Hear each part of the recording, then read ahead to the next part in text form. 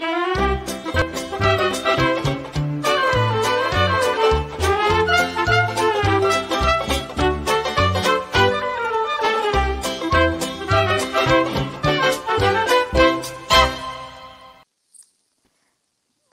tutti, ciao amici. Eccoci, eccoci qui per una nuova ciao. puntata con eh, Luisa alla scoperta oggi di eh, la reggia di Versailles in provincia di Pavia. È esagerato dire così?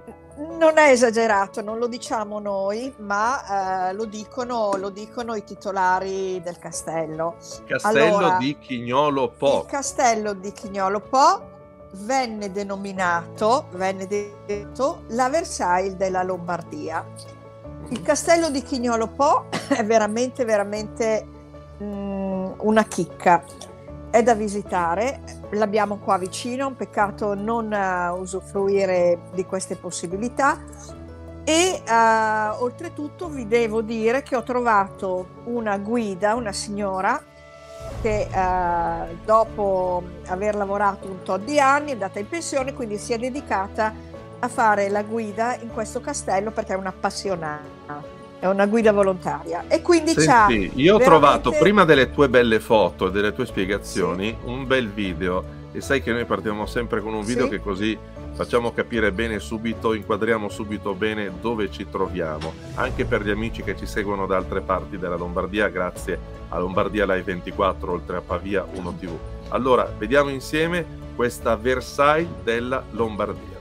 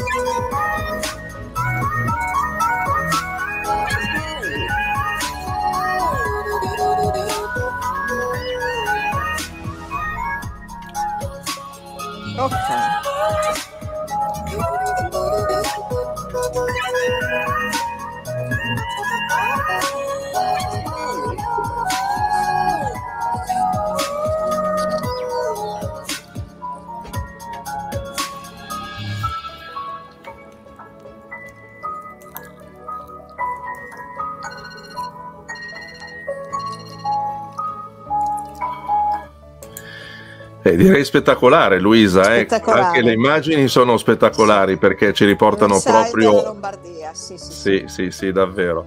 Però devo dire che abbiamo scoperto qualcosa di sensazionale e come al solito diciamo sempre, la Reggia di Veneria per esempio la scorsa settimana non l'abbiamo toccata parlando di Torino, ma abbiamo davvero a due passi da casa nostra delle, delle bellezze che sono tutte da scoprire. Infatti, diciamo con uh, pochi chilometri, piccoli percorsi, possiamo veramente passare uh, dei weekend di cultura e come vi dicevo ho trovato molto preparate che hanno raccontato una storia antica e, e coinvolgente. Allora, la, la parte più antica del castello è la torre, che qua non si vede, però si vede una piccola parte.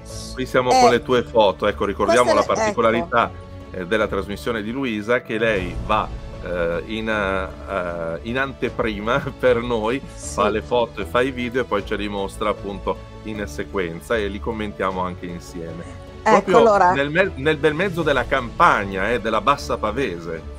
Allora, questo è il tipico paesaggio pavese e lì siamo a pochi chilometri dal Po, quindi l'atmosfera è stata ricreata, c'è tutta l'atmosfera del Po.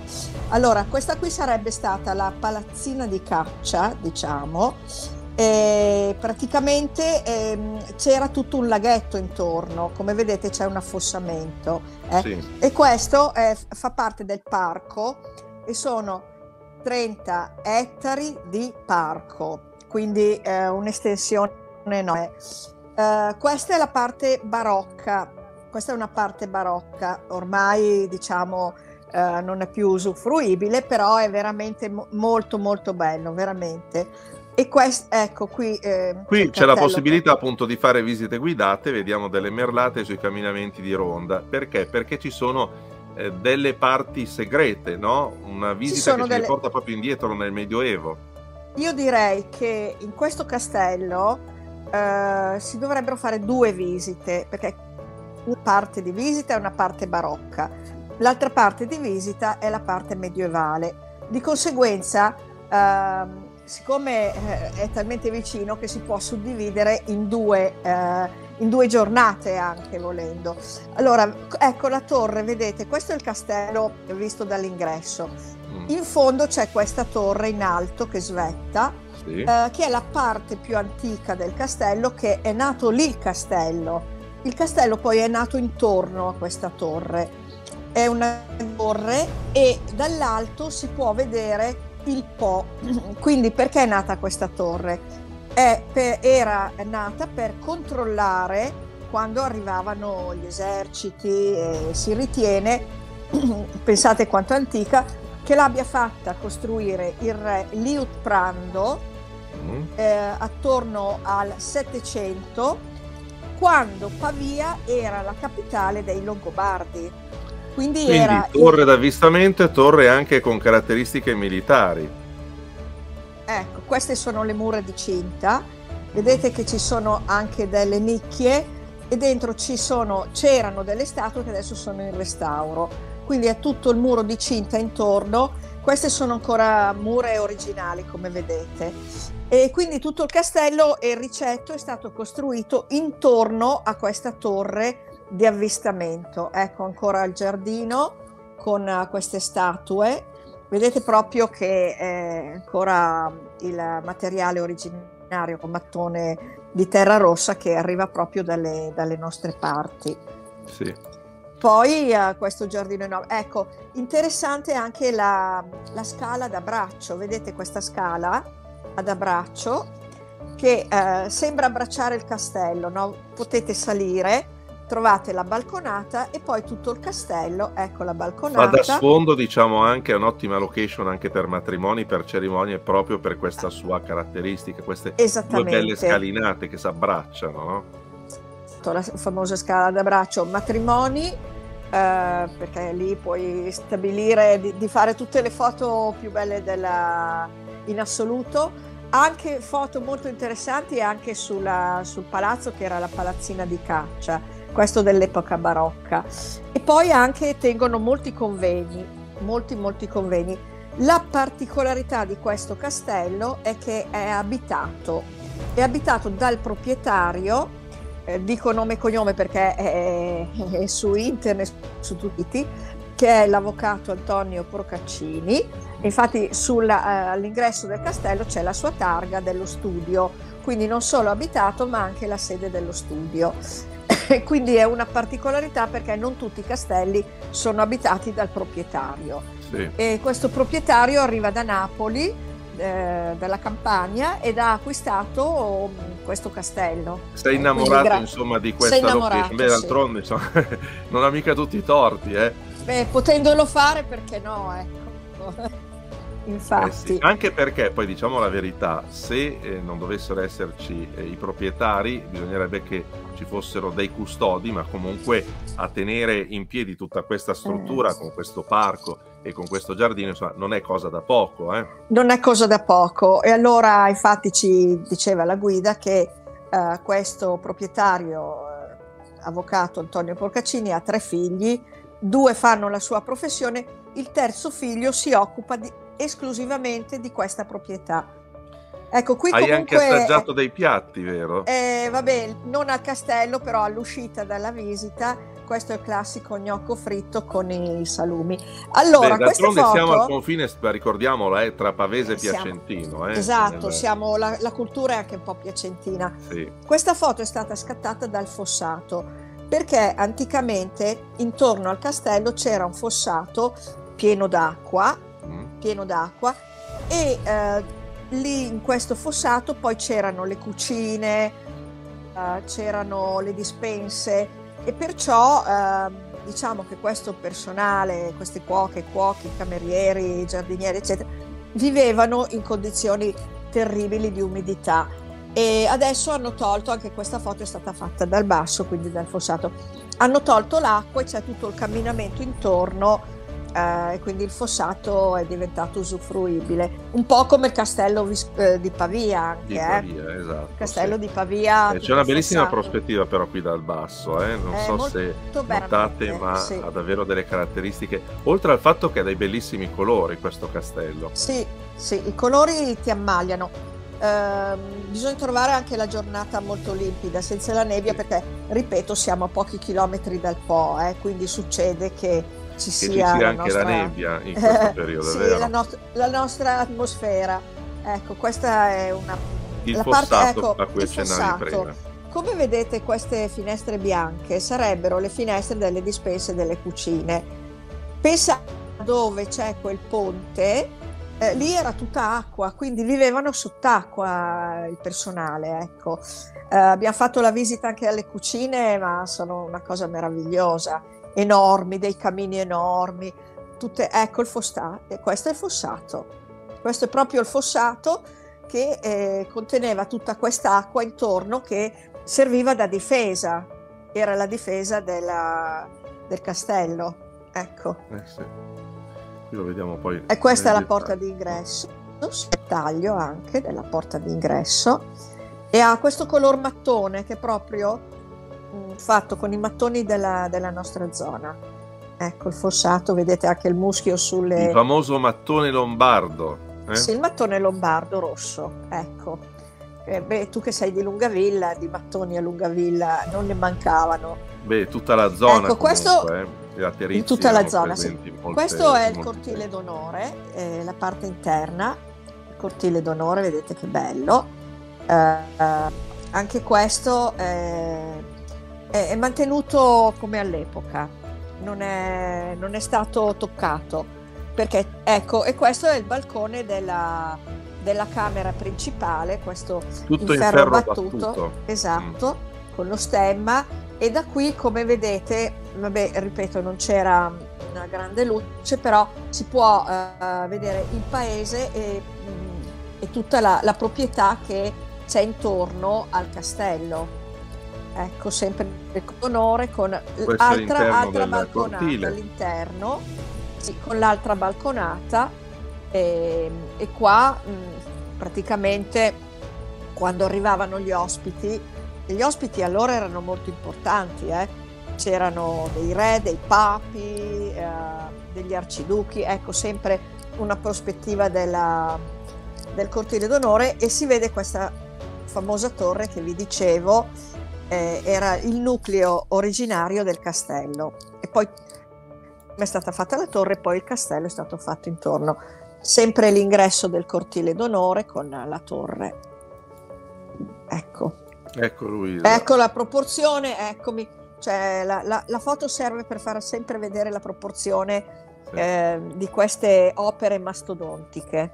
Davvero. Belle, belle veramente. Questa è la parte eh, dove c'è la, la, la stanza principale, vedete con questo bellissimo, questa bellissima balconata in ferro battuto. Questo è originale, come vedete questa parte è, è barocca. È rimasta è barocca. proprio sì, come... Sì, sì, sì, sì, questa è rimasta, è rimasta, rimasta intatta praticamente. Molto eh, bello. Per l'interno mi ricorda un po' uno spaccato dei cortili dell'Università di Pavia. Eh? Esatto, questo... esatto, bravo. Anch'io ho avuto questo ricordo non dimentichiamo che siamo legati sempre a, alla capitale che era Pavia da, da Re Eliot Prando, quindi sì. eh, lui ha avuto diciamo questo trade union tra e, e questo castello eh, di Chignolo Po.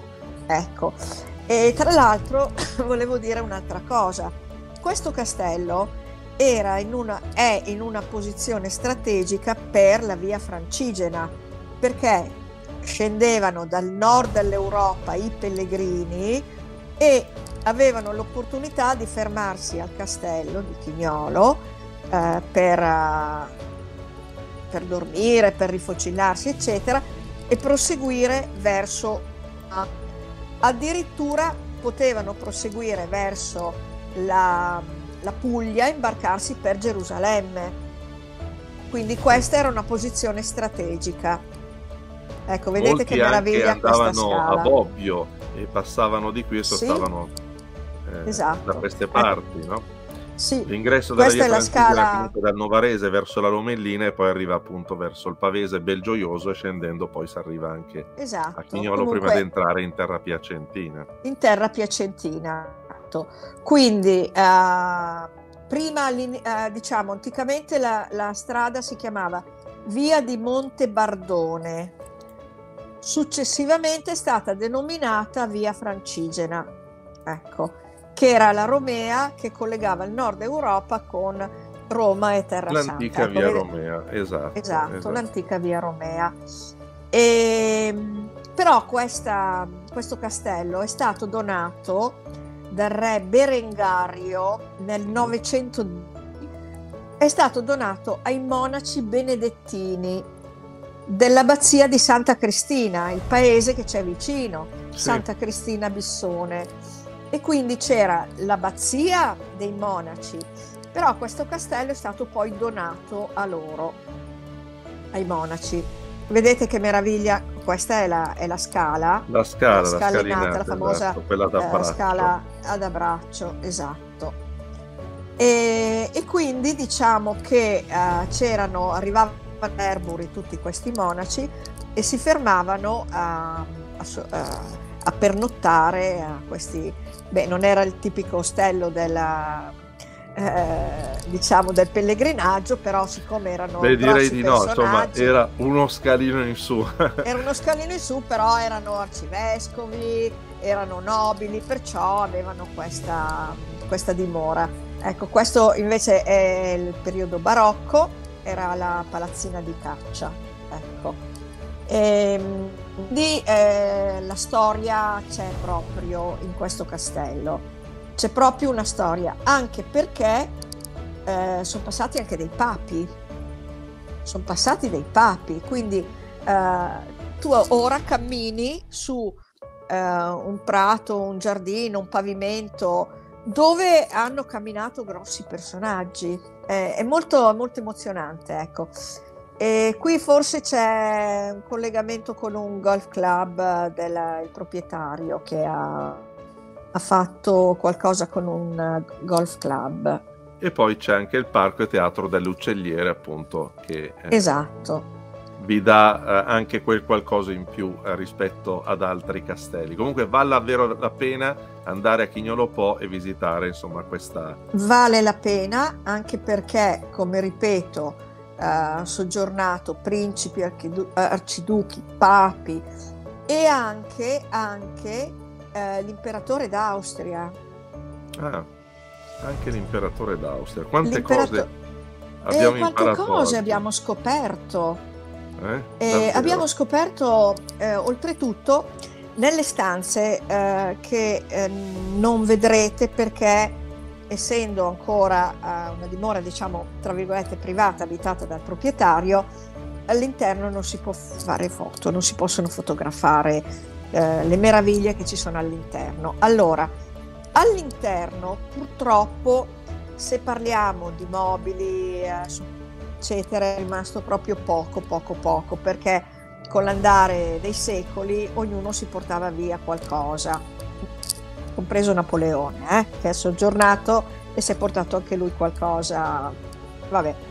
Allora, nelle stanze la mm. cosa che mi ha colpito sono questi soffitti affrescati, mantenuti meravigliosamente, affreschi e stucchi, perché hanno chiamato eh, degli allievi del TIE e allora ci sono eh, questi, ehm, diciamo, anche soffitti a carena di nave mm. con dei colori meravigliosi. Proprio si vedeva la scuola del Tiepolo e tra un fresco e l'altro una, eh, degli stucchi eh, sempre sullo stile veneziano. Erano gli allievi del Tiepolo.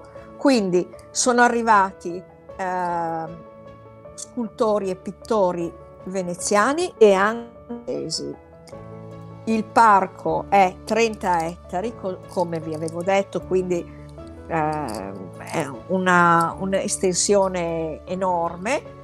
E poi in fondo c'è quella famosa palazzina di caccia barocca, quindi ce n'è per tutti i gusti. Chi vuole camminare si fa tutto il parco, chi vuole invece vedere gli interni prende la guida, insomma è una meraviglia a due passi da casa, veramente. E noi abbiamo avuto l'occasione appunto di visitarlo grazie a Luisa Dosseni che come al solito va a scoprire delle chicche, ce le offre, sì. ci dà degli ottimi spunti per farci un weekend magari a, a due passi da casa senza conoscere magari che appunto ci sono queste belle dimore che meritano davvero tanto tanto. Poi è ovvio, noi spazieremo in lungo e in largo anche per altre regioni, per altre Chiaro. Eh, località più o meno famose. Però è bene anche riscoprire la nostra terra perché ci ha dato tanto in passato, ma questo passato dobbiamo farlo rivivere oggi come abbiamo fatto con il castello di Chignolo. Grazie Luisa perché ci hai dato come al solito un ottimo spunto. Grazie a voi. Un prossimo viaggio. Eh, prossimo eh, viaggio. In questo caso. Allora, qui eh, siamo stati nella provincia di Pavia.